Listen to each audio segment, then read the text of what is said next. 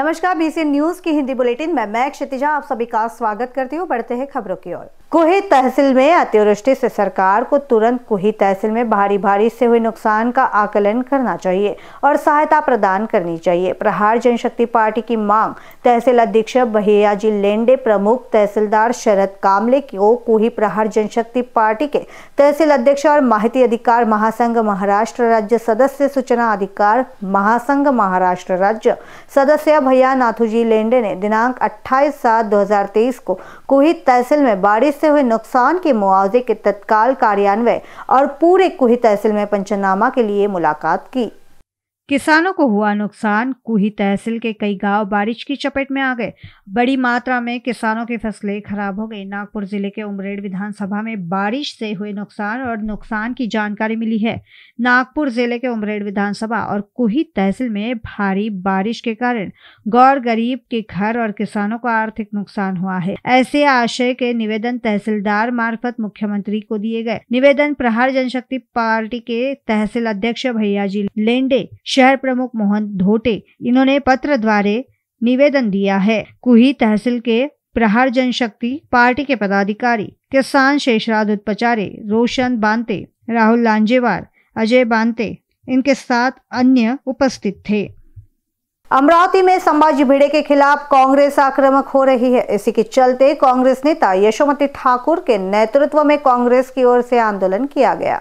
कांग्रेस ने संभाजी भिड़े की गिरफ्तारी की मांग की है। कांग्रेस का यह आंदोलन अमरावती के राजकमल चौक पर हुआ। मौके पर संभाजी भिड़े के खिलाफ नारे लगाए गए। गांधी जी की तस्वीर को लेकर कांग्रेस द्वारा आंदोलन किया गया और इस पूरी घटना पर यशोमती ठाकुर ने तिखी और आक्रामक प्रतिक्रिया दी। उन्होंने संभाजी भिड़े को गिरफ़्तार कर देश द्रोह का मामला दर्ज करने की मांग की है। आगे उन्होंने कहा की देवेंद्र फडणवीस अमरावती के भतीजे है। वे महात्मा गांधी का अपमान कैसे सहन कर सकते हैं?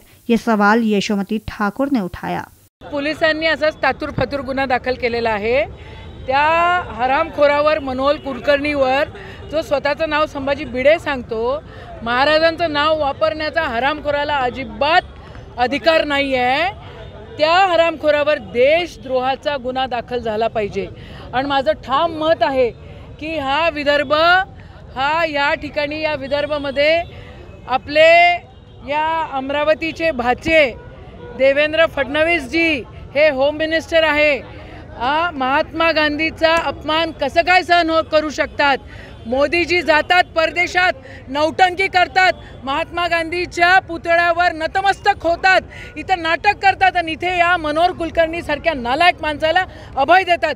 याचा निषेध आहे आणि यांच्यावर देशद्रोहाचा गुनाच दाखल झाला पाहिजे त्यांना अटक झाली पाहिजे. बुधवार को हुई तेज बरसात के कारण जनजीवन बड़ी मात्रा में प्रभावित हुआ। जैसा कि आपने हमारी पिछली रिपोर्ट में देखा कि गुरुवार को बेसा परिसर में एक 42 वर्षीय व्यक्ति पानी में बह गया था जिसका शव कल एक पेड़ में फंसे हुए मिला है जिससे स्थानीय क्षेत्रों में चर्चा का माहौल बना है। इन सभी कार्यकर्ताओं को पुलिस ने हिरासत में लिया है। करीब बारह से पंद्रह लोग है जिन्हें पुलिस ने हिरासत में लिया है और जो लोग नारे लगा रहे थे उन्हें पुलिस ने हिरासत में लिया है। अमरावती में संभाजी भिड़े के खिलाफ आखिरकार मामला दर्ज होने के बाद अमरावती पुलिस ने सावधानी पूर्वक प्रतिक्रिया दी। पुलिस उपायुक्त विक्रम साली के अनुसार संभाजी भिड़े के खिलाफ धारा एक सौ तिरपन, पाँच सौ पाँच, दो के तहत और आयोजक के खिलाफ धारा चौतीस, ए के तहत आंतरिक मामला दर्ज किया गया है और आगे की जाँच चल रही है। अमरावतीमध्ये राजापेठ पोलीस स्टेशन येथे संभाजी भिडे गुरुजी यांच्यावरती आय पी सी एकशे त्रेपन्न अनुसार गुन्हा दाखल करण्यात आलेला आहे आणि पुढील कायदेशीर कारवाई सुरू आहे. वैसे तो अकोला को अकोला महानगर पालिका कहा जाता है। अकोला महानगर पालिका का एक नारा बड़े ही जोर शोर से चल रहा है। स्वच्छ अकोला सुंदर अकोला। स्वच्छ अकोला, सुंदर अकोला का नज़ारा अकोला के रेलवे स्टेशन से लेकर अशोक वाटिका चौक तक ज़रूर नज़र आता है। पर अकोला रेलवे स्टेशन की एक पिछले इलाका अकोटफैल एक बड़ी घनी आबादी वाला इलाका है। अकोटफैल के इलाके स्वच्छ अकोला सुंदर अकोला को ठेंगा बताते हुए नज़र आते हैं। इस परिसर का एक इलाका रफीक नगर रहमत नगर और भारत नगर जहाँ पर लोग बड़ी बदहाली में ज़िंदगी गुजार रहे हैं। लोगों को अपने घरों के सामने जाने के लिए रास्ता तक नहीं है। पानी के अंदर पत्थर डालकर लोग अपना रास्ता बनाते हुए नज़र आते हैं। गलियों में हर तरफ़ पानी नज़र आता है, रास्ता नज़र नहीं आता। इन बीसी न्यूज़ के ज़रिए लोगों ने अपनी बातों को हमारे सामने रखा और लोगों ने सरकार से उम्मीद की है कि उनकी तकलीफों को दूर किया जाएगा। हाँ सर्विस गली होना और नाली होना हमारे को और सड़क होना थी जाने आने को तो हमको तकलीफ़ बहुत है।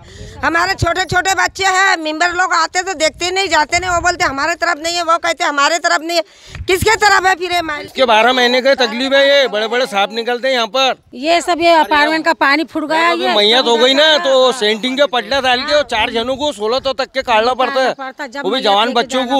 इन बीसी न्यूज़ के लिए अकोला से असगर खान।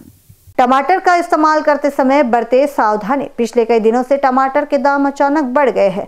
लेकिन अब समय आ गया है नागरिकों को और गृहिणियों को टमाटर का इस्तेमाल करते हुए सावधानी बरतने का। महँगाई वाले टमाटरों में कई तरह के जीव जंतु ने प्रवेश कर लिया है। कई टमाटरों में अंतर्गत भाग, से मिलती, झुलती इल्लिया भी दिखने लगी है। कई गृहिणियाँ टमाटर का इस्तेमाल बिंदास्त और बिन दिक्कत से करती है। लेकिन अब समय आ गया है कि कई गृहिणियाँ टमाटर का इस्तेमाल सावधानी से करें। कई टमाटरों में छोटे सफ़ेद रंग की इल्लियाँ पैदा होने लगी है, जिन्हें केवल तभी देखा जा सकता है जब टमाटर को सावधानी से काटे। किचन में टमाटर का इस्तेमाल करते समय गृहिणियों को टमाटर का इस्तेमाल सावधानी से करना होगा। हालाँकि टमाटर की कीमत में काफ़ी वृद्धि हो गई है, लेकिन टमाटर में बारीक सफ़ेद रंग की लिया नियमित दिखाई दे रही है। इसीलिए टमाटर का उपयोग करते समय सावधान रहे।